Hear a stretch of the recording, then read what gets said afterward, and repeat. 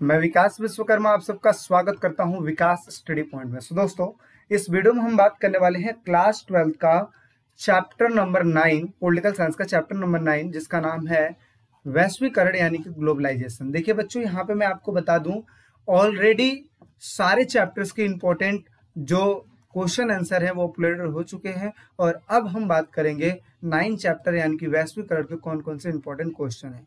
इस वीडियो में आपको वो सारे क्वेश्चन बताए जाएँगे कि जो कि आपके एग्ज़ाम पॉइंट ऑफ़ व्यू से बहुत ही ज़्यादा इंपॉर्टेंट रहेंगे।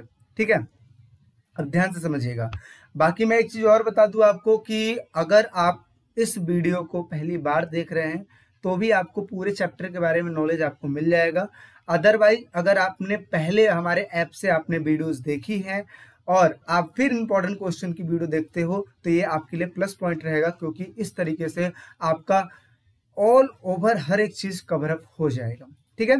तो सबसे पहले हम क्वेश्चन की बात करने वाले हैं कि वैश्वीकरण होता क्या है।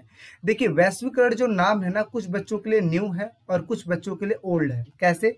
वैश्वीकरण, हमें पता है कि सातवीं, आठवीं, नौवीं, दसवीं जहाँ जहाँ भी बात किया जाए, चाहे इकोनॉमी की, चाहे बात किया जाए एसएसटी की, हर एक जगह पे वैश्वीकरण के बारे में दिया गया है। लेकिन हो सकता है कि आपने ध्यान नहीं दिया हो, लेकिन फिर भी आज मैं आपको बताता हूँ कि ग्लोबलाइजेशन होता क्या है। इंग्लिश में इसको ग्लोबलाइजेशन कहते हैं और हिंदी में वैश्वीकरण कहते हैं। देखिए, हमें पता है हमारे विश्व में बहुत सारी कंट्रियाँ, जैसे कि आप इस इमेज में आप देख सकते हो, बहुत सारी कंट्रियाँ हैं। जैसे ऑस्ट्रेलिया हो गया, यहाँ पे इंडिया हो गया, जैसे अफ्रीका हो गया। ठीक है, इसके अलावा यहाँ पे बात करें तो दक्षिणी अमेरिका हो गया, ऐसे बहुत सारे देश हैं यहाँ पे, ठीक है। अब होता यूँ है कि अब एक देश में जो प्रोडक्ट होता है, एक देश में जो सर्विसेज़ होती हैं, कुछ अच्छी चीज़ें होती हैं, कुछ ऐसी चीज़ें होती हैं जो दूसरे देश में जाने योग्य होती हैं, वो क्या करते हैं? वो सामान को उठाते हैं और दूसरे देश में भेज देते हैं। फॉर एग्ज़ाम्पल की बात करते हैं, जैसे मान लो मैकडोनल्ड, जैसे आप देखते हैं ना, मैकडी मैकडी बार हम करते हैं, जहाँ पे हम बर्गर खाने के लिए जाते हैं। तो जो मैकडी है, वो कहाँ की है? अमेरिका की है, और अमेरिका वालों ने उस चीज़ को अन्य अन्य देशों में इस्टेब्लिश किया है, जैसे कि भारत में भी स्टैब्लिश किया है। तो मतलब क्या है, अमेरिका की जो संस्कृति है, अमेरिका की जो खान पान है, उस चीज़ को दूसरे देशों में चलन हो रही है, हो रही है ना? साथ ही साथ हम बात कर लेते हैं भारत में। आपको पता है, भारत आध्यात्मिक देश है। यहाँ पे अगर मैं बात करूँ कि जो गुरु है, गुरुओं की कोई भी कमी नहीं है। इसके अलावा भारत की भूमि एक ऐसी भूमि है जहाँ पे आध्यात्मिक के लिए बहुत ही ज़्यादा इम्पोर्टेंट है। ठीक है, इसके अलावा आपको पता है यहीं पे भगवत गीता रामायण से लेकर बहुत सारी चीज़ें हुई थी। तो इस जगह को सबसे ज़्यादा बेटर माना जाता है और यहाँ की जो पुस्तकें हैं, जैसे भगवत गीता, इन सब चीज़ों को अन्य अन्य देशों में, जैसे हो गया इंग्लैंड में, जैसे हो गया अमेरिका में, जैसे अन्य अन्य देशों में भेजा जाता है और वहाँ पे बड़े बड़े यूनिवर्सिटियों में पढ़ाई जाती है। ठीक है? लोग पढ़ते हैं। बिकॉज़ ऑफ़ ग्लोबलाइजेशन तो बेसिकली ग्लोबलाइजेशन क्या है? ग्लोबलाइजेशन एक ऐसा प्रोसेस है जिसमें एक देश की चाहे प्रोडक्ट होती है, चाहे सर्विसेज़ होती है, चाहे कोई भी चीज़ होती है, उसको एक देश से दूसरे देश में भेजना ही वैश्वीकरण कहलाता है। इसका डेफिनेशन आप देख लीजिए। अच्छा इसका इसका होने से मतलब क्या हुआ कि जैसे मान लीजिए कि एक देश है, ये दूसरा देश है, तीसरा है, चौथा है, पांचवा है तो ये जब आपस में एक दूसरे से जब व्यापार करेंगे लेन देन करेंगे तो स्थितियाँ एक दूसरे के बीच में क्या होगी? मज़बूत होगी। तो इस तरीके से ग्लोबलाइजेशन देशों में मजबूती लाता है, ठीक है, ना कि दूरियाँ लाता है। तो इस चीज़ को समझ के रखिएगा। तो वैश्वीकरण से अभिप्राय किसी किसी वस्तु, सेवा या पूंजी का एक देश से दूसरे देश में प्रवाह होना। प्रवाह का मतलब होता है दूसरे देश में जाना, दूसरे देश में चलना। अच्छा एक एग्ज़ाम्पल की और मैं बात कर लूँगा। जैसे कि नेक्स्ट स्लाइड में हम देख लेते हैं। जैसे देखिए आज के टाइम पे हमें पता है हम दिल्ली जैसे शहरों में रह रहे हैं तो यहाँ पे मेट्रो चल रहा है। मेट्रो की शुरुआत सबसे पहले जहाँ जापान में हुई थी। जापान की वजह से ही फिर यहाँ पे अपने इंडिया में आया। तो ये चीज़ है जो टेक्नोलॉजी वो जापान की है और धीरे धीरे हम करके ऐसी बहुत सारी चीज़ें हैं, जैसे ट्वेटा कंपनी हो गई, ठीक है? वो वो भी जापान की है तो उनसे हम क्या करते हैं? सीखते हैं और सीखने के बाद अपने देश में इम्प्लीमेंट कर देते हैं। साथ ही साथ बर्गर की बात करूँ तो जैसे मैकडी का आपने एग्जांपल तो मैंने बताया ही है। साथ ही साथ बात करूँ, ये देखिए जींस इतने टाइप्स की जो जींसें हैं, ये जो जींस है जींस की वजह से ही मतलब आप समझ रहे हो, आज के टाइम पे जो फ़ैशन है, हमारा किस लेवल पे पहुँच चुका है। पहले हमारा ड्रेसिंग सेंस अलग था, लेकिन आज के टाइम पे कुछ अलग है। बेसिकली अगर बात किया जाए तो ये जो जींस है, ये जो मजदूर हैं, जो फैक्ट्री में काम करते हैं, उन लोगों के लिए बनाया गया था और इतना मॉडर्न नहीं था। बड़े बड़े जिनसे होती थी, जो झोला टाइप में जिनसे होती थी, इसलिए बनाया गया था ताकि जो लोग हैं कंफर्टेबली काम कर पाए और जो कपड़े फटने वाली जो दिक्कत है ना, कि मान लो पतला कपड़ा पहन के अगर काम करते हो और फट जाता है, उस चीज़ को, दिक्कतों को दूर करने के लिए ही जींस आया था, लेकिन आज के टाइम पे हम फ़ैशन के तौर पर यूज़ करते हैं। अब देखिए, याकुल्ट का एग्ज़ाम्पल लेते हैं, ठीक है? तो ये देखिए एक ऐसा एक ऐसा चीज़ लिक्विड है जिस जैसे हम देखते हैं ना, दही दही में जो बैक्टीरिया होती है, कुछ अच्छी बैक्टीरिया होती है, कुछ खराब बैक्टीरिया होती है, ठीक है तो लेकिन हम दही अगर खाते हैं तो हमें पता है दोनों टाइप्स की बैक्टीरिया हमारे बॉडी के अंदर जाती है। लेकिन अगर मैं बात करूँ याकुल्ट की तो ये अच्छी बैक्टीरियाओं को बैक्टी जो जो बैक्टीरिया होती हैं, उस चीज़ का ही एक वो है लिक्विड है और जिसकी वजह से हमें बहुत ही ज़्यादा हेल्पफुल मिलती है। साथ ही साथ बात करते हैं पेप्सी। तो आप सबको पता होगा कि गर्मी का टाइम चलता है तो पेप्सी कितना ही ज़्यादा हर एक व्यक्ति के लिए ज़रूरी होता है। ज़रूरी क्या होता है? अब लोग नीड बना ली है। पहले क्या है? पहले घड़े के पानी से भी काम चल जाता था, लेकिन आज के टाइम पे आपको पता है, फ्रिज ना हो घर में तो फिर मज़ा ही नहीं आएगा। तो ये सारी चीज़ें हैं, ठीक है? तो ये कहाँ की है? जो चीज़ें अपने देश की है, वो तो चलती हैं, साथ ही साथ बात करते जो दूसरे देश की है, वो भी दूसरे देश में जाकर प्रचलित हो जाती है। तो ये आई होप सो आपको समझ में आया होगा। यहाँ पे देख लीजिए, साधारण शब्दों में अगर मैं बात करूँ तो एक देश की अर्थव्यवस्था को विश्व की अर्थव्यवस्था के साथ जोड़ना ही वैश्वीकरण कहलाती है। जैसा कि आप देख रहे हो तो एक देश की जो चीज़ें हैं, वो दूसरे दूसरे देशों में चलती है और इससे ही वैश्वीकरण बनता है। तो वैश्वीकरण का अर्थ आई होप सो आपको समझ में आया होगा। अब हम नेक्स्ट बात कर लेते हैं। आज का आपका प्रश्न है कि एलपीजी का फुल फॉर्म बताइए जल्दी से। एलपीजी का फुल फॉर्म आप एलपीजी गैस के बारे में नहीं पूछ रहा हूँ मैं। एलपीजी का फुल फॉर्म बताइए ये इससे ही रिलेटेड होता है, इससे ही रिलेटेड होता है। चलो एक चीज़ तो मैं आपको बता देता हूँ जी मतलब होता है ग्लोबलाइजेशन अब एल और पी का मतलब खुद बताइए, जल्दी से कमेंट सेक्शन में। आप लोग वीडियो तो देख लेते हो, लेकिन एक जो क्वेश्चन है क्वेश्चन का जवाब नहीं देते हो। मुझे कैसे पता लगेगा आप पढ़ते हो कि नहीं पढ़ते हो? तो इस वजह से आप लोग क्वेश्चन का जवाब ज़रूर दीजिएगा। उन सभी चीज़ों को मैं चेक करूँगा और आपको बता दूँगा कि हाँ सही है कि क्या है। ठीक है, गलत होगा तो उसको मैं सही करवा दूँगा, सही रहेगा तो हट दे के अपना वो कर लेंगे। ठीक है?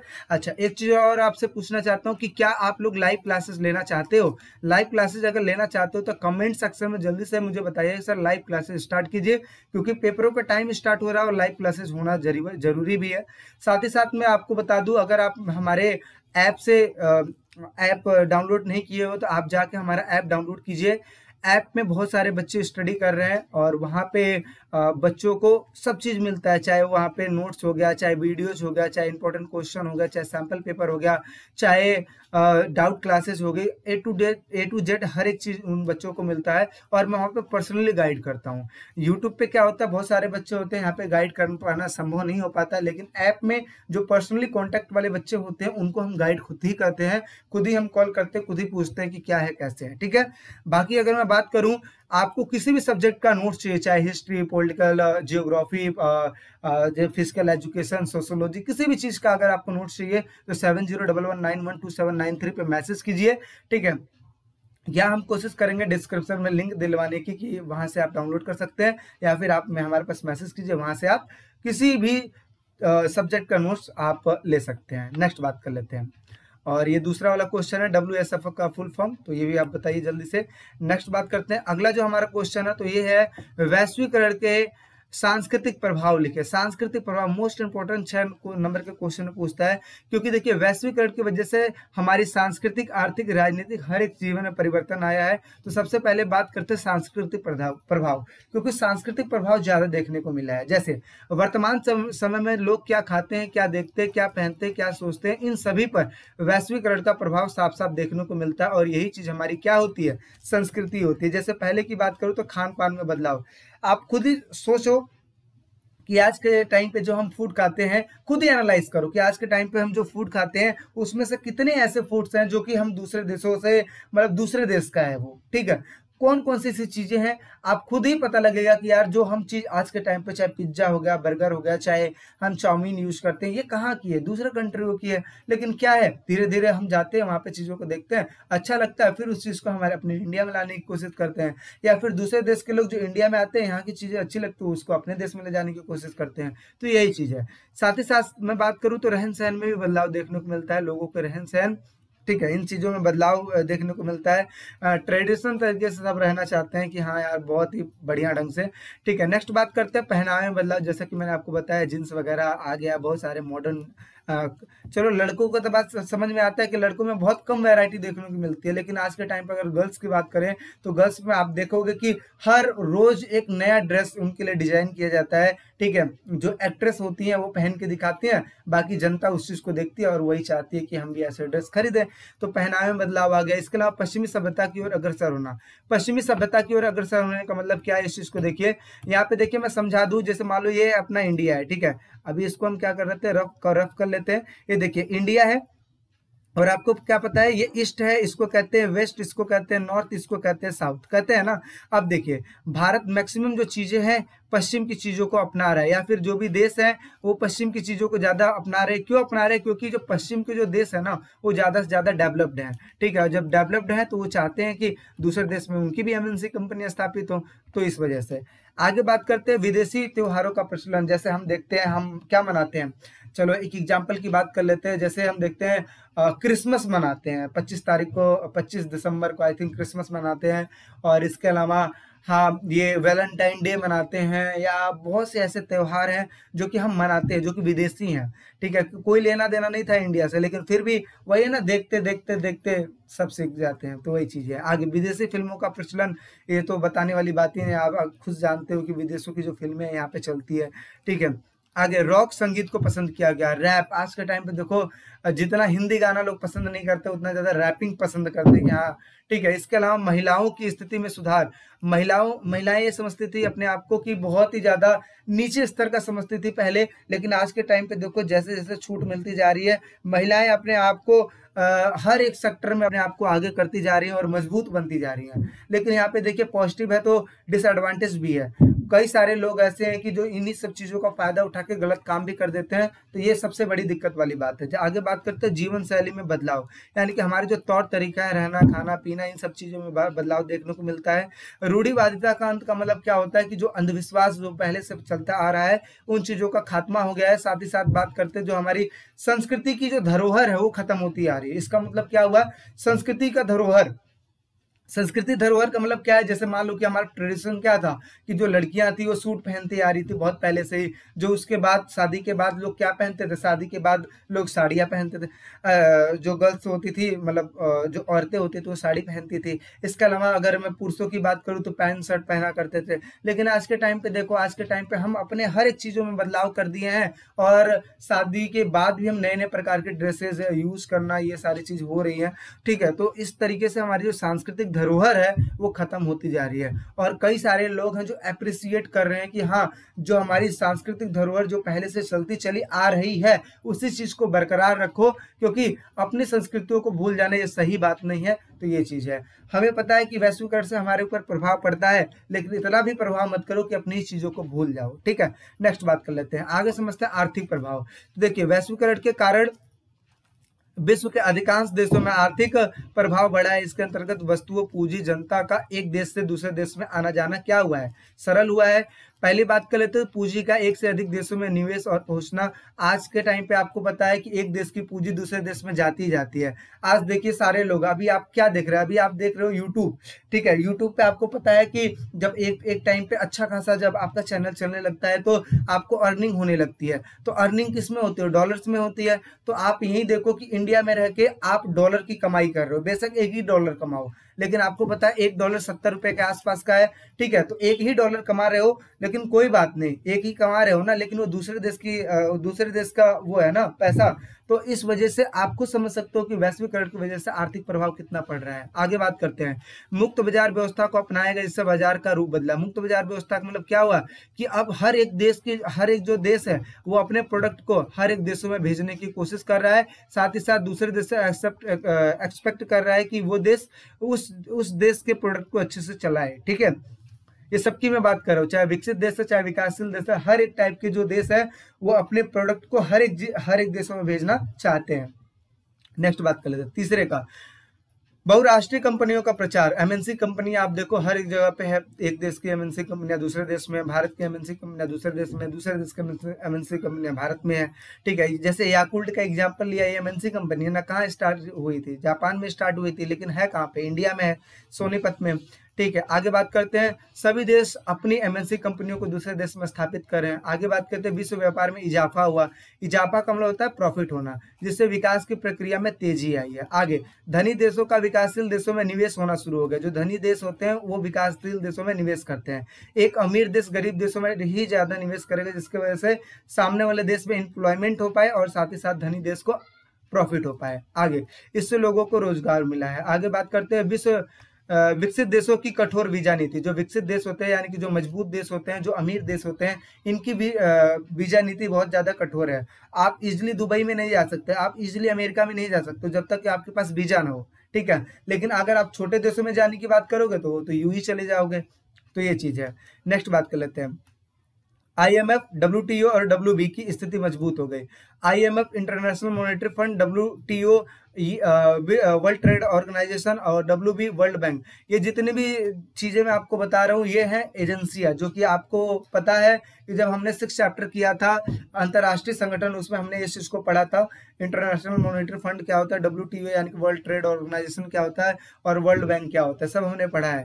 तो इनकी स्थितियाँ भी क्या हुई है? मज़बूत हुई है आगे। वैश्विक के आर्थिक प्रभाव से गरीब देशों को ज़्यादा फ़ायदा नहीं हुआ, क्योंकि आपको पता है फ़ायदा किसको होगा? अमीर देश को होगा। अरे, एक देखो, कहने का मतलब यही है कि अगर आप अमीर हो तो आप पैसा लगा लोगे और बदले में क्या होगा? यहाँ के देशों को जन, देश के जो लोग हैं, इनको आप रोज़गार दे दोगे और प्रॉफिट तो सारा आप ही ले जाओगे ना? तो इस वजह से अमीर कौन होगा? अमीर देश होंगे ना? तो ये चीज़ है।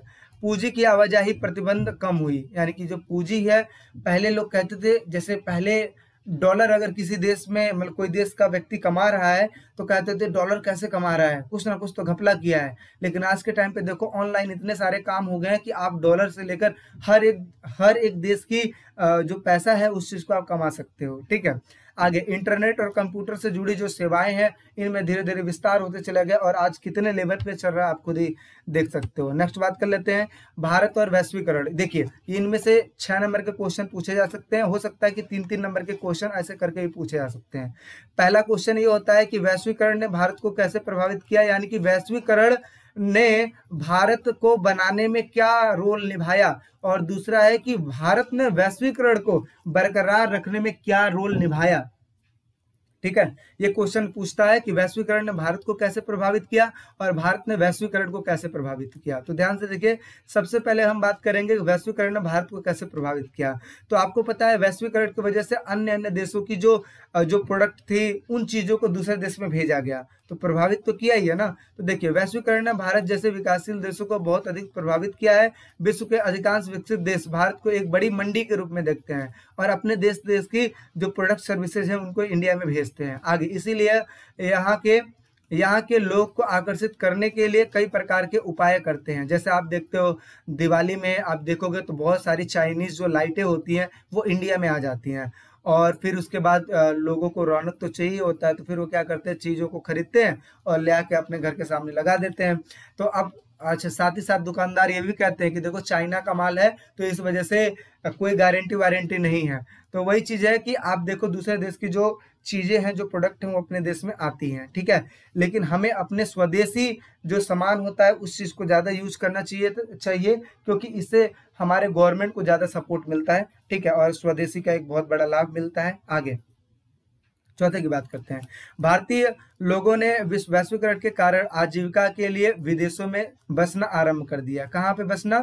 विदेशों में। जैसे आप देखते हो, कई सारे लोग होते हैं जो अमेरिका में जाके बस जाते हैं और इसके अलावा अन्य अन्य जगहों पे जाके बस जाते हैं आगे। यूरोप और अमेरिका की पश्चिमी संस्कृतियाँ बड़ी शीघ्रता से भारत में फैल रही हैं। जैसा कि मैंने आपको बताया कि पश्चिम के जो देश हैं, वो बहुत ही शीघ्रता से चीज़ों को सामने यानी कि पूरब में, पूरब के देशों में फैलाते जा रहे हैं, खासकर भारत में। आगे, भारत में नीली जींस पहनना, पिज्जा खाना, टेली टेलीविज़न पर कई विदेशी चैनलों को देखना वैश्वीकरण का ही असर माना जाता है। तो आप देख सकते हो कि वैश्वीकरण ने भारत को किस हद तक प्रभावित किया है। नेक्स्ट बात कर लेते हैं कि भारत ने वैश्वीकरण को कैसे प्रभावित किया है। यहाँ पे हमने बात किया कि वैश्वीकरण ने भारत को कैसे प्रभावित किया। अब हम बात करने वाले हैं कि भारत ने वैश्वीकरण को कैसे प्रभावित किया है।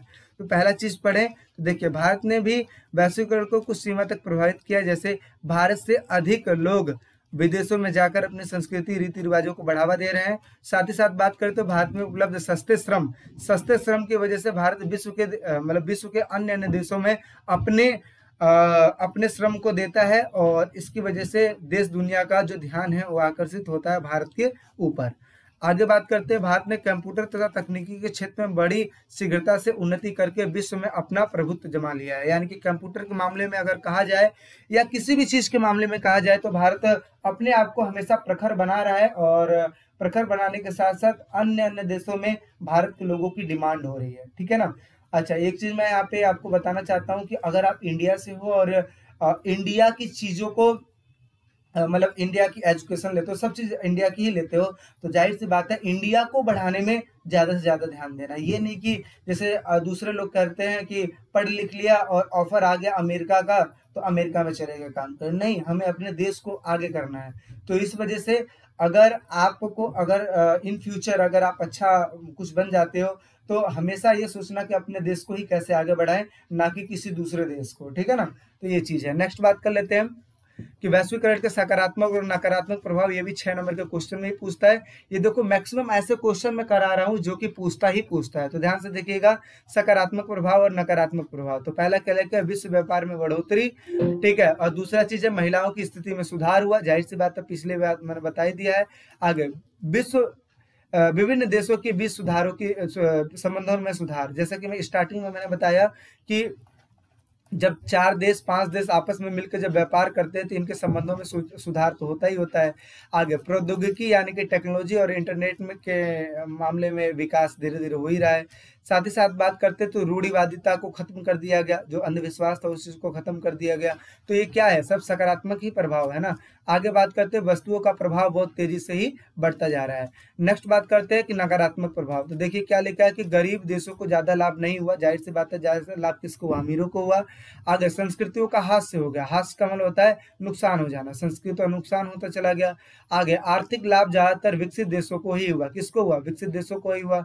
आगे दुनिया के विभिन्न वर्गों के लोगों ने इसका विरोध किया। दुनिया के जो विभिन्न देश थे, उन्होंने इस चीज़ का विरोध किया। क्यों? क्योंकि हम वैश्वीकरण में इतने डूब जाते हैं कि अपनी ही संस्कृतियों को नुकसान कर बैठते हैं। तो ये चीज़ गलत है। आगे, विदेशी संस्कृतियों को अपनाने से अपनी ही संस्कृति का नाश हो रहा है। आगे, लोगों की आवाजाही उतनी नहीं बढ़ी है जितनी वस्तु वस्तु आज देखोगे कि एक देश की वस्तु दूसरे देश में बहुत जाती है, लेकिन व्यक्तियों की उतनी आवाजाही नहीं बढ़ी है। क्यों नहीं बढ़ी है? क्योंकि भाई देखो, गरीब व्यक्ति है, किसी जो देश गरीब ही है तो वो कैसे आ, देखो जब देश ही गरीब है तो वहाँ के नागरिक कैसे अमीर हो सकते हैं? ज़ाहिर सी बात है ना कि अगर कोई व्यक्ति अमीर बनेगा तो देश भी सुदृढ़ बनेगा, देश भी मजबूती बनेगा। तो इसी वजह से कहते हैं कि हम अपनी जिम्मेदारियों को समझे और अपने देश को ऊपर करने के लिए, मज़बूत बनाने के लिए हमेशा तैयार रहें, ठीक है ना? नेक्स्ट बात कर लेते हैं सिक्स नंबर का क्वेश्चन है कि वैश्वीकरण के संदर्भ में विकासशील देशों में राज्य की बदलती भूमिका का आलोचना और मूल्यांकन कीजिए। इसका मतलब क्या है? पहले क्वेश्चन को समझ लीजिएगा कि वैश्वीकरण की वजह से जो विकासशील देश हैं, विकासशील यानी कि जिनका डेवलपमेंट हो रहा है, वो जैसे देश है, उनके राज्यों की बदलती भूमिका की आलोचना कीजिए। चलो, एक एग्ज़ाम्पल के तौर पे बताता हूँ। जैसे मान लो कि जापान है। जापान ने क्या किया? जापान ने अपना मेट्रो मेट्रो की जो टेक्नोलॉजी है, वो भेज दिया। कहाँ पे? इंडिया में भेज दिया। अब जापान की जो टेक्नोलॉजी है, वो आ गई इंडिया में और इंडिया में अपना धूम मचा रही है, चली जा रही है, चली जा रही है। ठीक है, बढ़िया से चल रही है। अब आप बताइए कि ये जो चीज़ चलाएँगे, जापान वाले जो मेट्रो यहाँ पे स्टेब्लिश किए हैं, वो अपने तरीके से समझाएँगे? जब अपने तरीके से वो चलाएँगे तो राज्यों के प्रशासन में दखल अंदाजी हुई कि नहीं हुई? और राज्यों की जो भूमिका हुई, भूमिका में भी कमी हो जाती है। क्यों? क्योंकि आप जब दूसरे देश को मौका देते हो काम करने के लिए तो इससे आपकी ताकत कम होती है। यही चीज़ है। दोबारा समझ लीजिए मेरे कहने का मतलब क्या है कि वैश्वीकरण की वजह से अन्य अन्य देश अपनी अपनी जो प्रोडक्ट सर्विसेज़ या जो भी है वो दूसरे देश में जब स्टेब्लिश करते हैं तो अपना मन मर्ज़ी करते हैं। अपने अपने हिसाब से वो काम करते हैं ठीक है? और इसके साथ साथ अगर मैं बात करूँ तो यहाँ पे देखिए वो अपना मन मर्ज़ी पूरा ही नहीं करते हैं, बल्कि उस चीज़ में राज्यों की भी भूमिका होती है। अगर कोई राज्य ये कह देता है कि ठीक है, जापान की टेक्नोलॉजी यूज़ ही नहीं होगी तो क्या यूज़ हो पाएगी? क्या नहीं होगी? तो हमें ये समझ में आ जाना चाहिए कि जो भी जापान करता है या फिर जो भी देश कुछ भी करता है, उस चीज़ में इंडिया के या किसी भी देश के राज्यों की सहमति होती है तो ही वो करता है अदरवाइज़ नहीं करता है। तो हमें दोनों पॉइंटों को लिख के रखना है। तो अभी इसको पढ़ लेते हैं, चीज़ें समझ में आ जाएँगी। देखिए क्या लिखा है, वैश्वीकरण के कारण विभिन्न देशों में राज्यों की भूमिका में बदलाव अवश्य आया हुआ है। आज कोई भी विकासशील देश आत्मनिर्भर होने होने का सपना नहीं देख सकता। क्यों नहीं?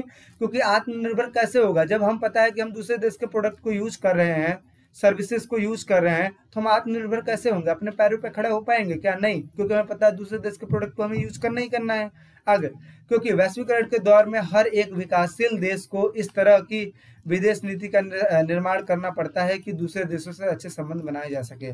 अब कोई अमीर देश कह रहा है कि मैं आपके देश में एक छोटा सा ये करना चाहता हूँ तो कोई गरीब देश मना कर देगा क्या उस चीज़ को? नहीं, क्यों क्यों नहीं मना करेगा? क्योंकि पता है इसको कि भाई, इस चीज़ में अमीरों का तो फ़ायदा ही है। साथ में गरीबों का ही फ़ायदा है, इस वजह से आगे। इसके लिए विकासशील देशों ने अपने बाज़ार विश्व के लिए खोल दिए हैं और मुक्त बाज़ार स्वतंत्र प्रतियोगिता और पूंजीवादी अर्थव्यवस्था को अपनाया गया है। यानी कि कहा जाए तो कंपटीशन के दौर में अपने ही प्रोडक्ट को सब भी बेच रहे हैं। आगे, राज्य सरकार द्वारा आयात निर्यात के नियम निर्धारित करने में भी बदलाव आया है और अब परमिट पासपोर्ट लाइसेंस आदि की बाध्यता में कमी आई है। मतलब क्या है कि पहले एक देश से दूसरे देश में जाना होता था तो बहुत सारे प्रोसेसों को करना होता था। पासपोर्ट होना चाहिए वीज़ा होना चाहिए। कई बार तो चेकिंग होती थी, क्या क्या जो सामने वाला बंदा आ रहा है, सही है कि नहीं है है ना? लेकिन अब क्या है पासपोर्ट परमिट या लाइसेंस इन सब चीज़ों में थोड़ी सी कमी आ रही, कोई इन सब चीज़ों की ज़रूरत जल्दी नहीं पड़ती है। आगे, वैश्वीकरण ने राज्य की प्रभुसत्ता को भी प्रभावित किया है। राज्य अपने नागरिकों पर भी कड़ा नियंत्रण रखने में उतने ही ताकतवर नहीं है। कहने का मतलब क्या है कि वैश्वीकरण ने राज्य की प्रभु सत्ता को भी प्रभावित किया है। राज्य अपने नागरिकों को, नागरिकों पर भी कड़ा नियंत्रण रखने में उतने ताकतवर नहीं रहे हैं। मतलब क्या है कि राज्य अपने नागरिकों पर ज़्यादा ताकतवर मतलब ताकत वाली चीज़ें आजमाता नहीं है, क्योंकि उसको पता है कि दूसरे देश की चीज़ों को यूज़ कर रहा है तो करने दो, क्या दिक्कत है? आगे, इसलिए राज्य द्वारा बनाए जाने वाली निजीकरण निजीकरण की नीतियाँ कर्मचारियों की छटनी, सरकार अनुदान में कमी और कृषि से संबंधित नीतियों पर वैश्विक का स्पष्ट प्रभाव देखने को मिलता है। तो साथ ही साथ अगर मैं बात करूँ तो कोई भी राज्य कोई भी प्रकार की नीतियाँ बनाता है, चाहे वो किसी भी चीज़ से रिलेटेड हो, उन सभी चीज़ों पर वैश्विक का प्रभाव देखने को मिलता ही मिलता है। एक बार दो बार तीन बार चीज़ों को देखिएगा तब समझ में आ जाएगा। देखिए कोई भी सब्जेक्ट अपने आप में एक टफ सब्जेक्ट होता है लेकिन हम उसको इजी कैसे बना, सकते हैं जब चीज़ों को बहुत ही ढंग से समझेंगे ठीक है? नेक्स्ट बात कर लेते हैं। क्या आप इस तर्क से सहमत है कि वैश्वीकरण ने सांस्कृतिक विभिन्नता को बढ़ावा दिया है? सांस्कृतिक विभिन्नता का मतलब होता है संस्कृति में भेदभाव मतलब विभिन्नता वैरायटी इस चीज़ को बढ़ावा दिया है तो ध्यान से देखिएगा। कैसे? सबसे पहले मैं बात करूँ तो अगर देखा जाए तो सांस्कृतिक विभिन्नता भी हुई है और सांस्कृतिक समरूपता भी हुई है। अब इसका मतलब क्या हुआ? सबसे पहले समझिए, सांस्कृतिक विभिन्नता का मतलब क्या होता है और सांस्कृतिक समरूपता का मतलब क्या होता है? सांस्कृतिक विभिन्नता। सांस्कृतिक विभिन्नता का मतलब क्या होता है कि जैसे मान लो कि एक देश है, जैसे मान लो मेरा अपना एक देश है, इंडिया है, ठीक है? और इंडिया में हमें पता है कि बहुत सारे धर्मों के लोग रहते हैं, बहुत सारी संस्कृतियाँ हैं, यहाँ पे चलती हैं।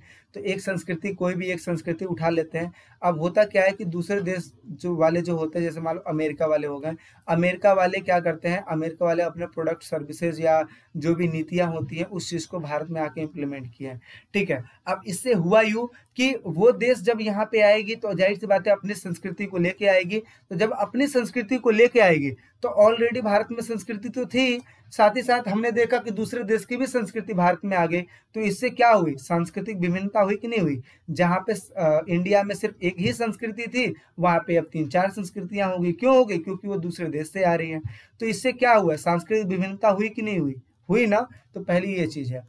और दूसरी चीज़ है सांस्कृतिक समरूपता। समरूपता का मतलब क्या होता है? समान होना। एक जैसा होना, कैसे? जैसे मान लो ये देश है, ये देश है, ये देश है, अब तीन देश है, अब इसमें कुछ और चल रहा है संस्कृति, इसमें कुछ और संस्कृति चल रही है, इसमें कुछ और संस्कृति चल रही है। अब इस देश की जो संस्कृति है, अगर इसमें जाएगी तो ज़ाहिर सी बात है, दोनों संस्कृति हो जाएगी। इस देश की संस्कृति यहाँ पे जाएगी तो ज़ाहिर सी बात है, यहाँ पे भी दो संस्कृति हो जाएगी। इस देश की संस्कृति यहाँ पे आएगी तो ज़ाहिर सी बात है यहाँ पे भी संस्कृति हो जाएगी और इस देश की संस्कृति यहाँ पे आएगी। तो यहाँ नहीं कि कहा जाए तो जहाँ पे एक ही संस्कृति थी, वहाँ पे अब तीन तीन संस्कृति हो जाएगी, क्योंकि तीनों देशों की संस्कृति आपस में मिलती जुलती है। तो यहाँ पे अगर देखा जाए तो समरूपता हुई कि नहीं हुई? हुई ना? क्योंकि इस देश में तीनों तीनों संस्कृति चल रही है। इस देश में भी तीनों चल रही है, इस देश में भी तीनों चल रही है। तो इससे क्या समझ में आया कि सांस्कृतिक समरूपता भी होती है। तो देखिए अगर यहाँ पे अगर आपसे क्वेश्चन पूछा जा रहा है कि क्या आप इस तर्क से सहमत है कि वैश्वीकरण ने सांस्कृतिक विभिन्नता वैश्वीकरण की वजह से सांस्कृतिक विभिन्नता बढ़ रही है तो यहाँ पे आप लिखोगे नहीं। ठीक है? अगर आप हाँ भी लिखते हो तो आपको ये दोनों पॉइंट जैसे मैंने एक्सप्लेन किया, वैसे एक्सप्लेन करके दिखाना पड़ेगा। अगर आप सिंपली लिखते हो नहीं तो इसका तर्क देना पड़ेगा। तो देखिए क्या लिखा है कि हम इस तर्क से सहमत नहीं है कि वैश्वीकरण ने सांस्कृतिक विभिन्नता बढ़ रही है, क्योंकि वैश्वीकरण के कारण सांस्कृतिक विभिन्नता नहीं, अपितु सांस्कृतिक समरूपता बढ़ रही है। कैसे? हम सांस्कृतिक तौर पर एक दूसरे से निकट आ रहे हैं। जैसे मैंने बोला ना, एक देश की जो संस्कृति है, वो दूसरे देश में जा रही है। तो इससे क्या हो रही है? इससे हमारी निकटता बढ़ रही है। जैसे कि कुछ लोग का मानना है कि आज पूरे देश में मैकडोन मैकडोनाल्डीकरण यानी कि संस्कृति है, यानी कि मैकडोनाल्डीकरण का मतलब क्या होता है कि जो मैकडी, यानी कि मैकडी कहाँ की अमेरिका की है और हर एक देश में मैकडी चली जा रही है। तो इसी का मतलब होता है कि एक ही संस्कृति अन्य अन्य देशों में भी फैल रही है। तो इससे क्या बढ़ेगी? सांस्कृतिक समरूपता बढ़ेगी। जैसा कि मैंने बताया ना यहाँ पे, एक देश की संस्कृति दूसरे देश में जाती है, दूसरे देश की तीसरे में और तीसरे देश की इस हिसाब से, ठीक है ना? तो देखिए, आगे बात कर लेते हैं। आगे आगे, एक सेकेंड।